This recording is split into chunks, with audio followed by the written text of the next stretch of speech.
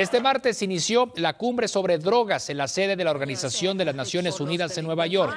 En su intervención, el presidente Enrique Peña Nieto recordó que nuestro país, Colombia y Guatemala, solicitaron en 2012 convocar a sesión especial sobre el problema mundial de las drogas. El objetivo, dijo el presidente, es revisar la estrategia internacional, definir soluciones desde una perspectiva de derechos humanos, prevención y salud pública. Dijo que se vislumbra un nuevo enfoque para enfrentar a los criminales, pero que en lugar de a los consumidores, se les dé oportunidades y alternativas.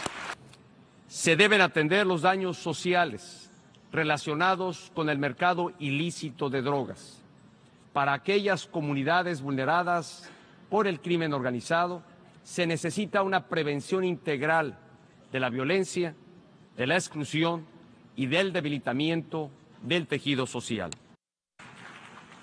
El consumo de drogas debe atenderse esencialmente como un problema de salud pública, toda vez que constituye una amenaza para el desarrollo pleno de las personas, especialmente de nuestros niños y jóvenes.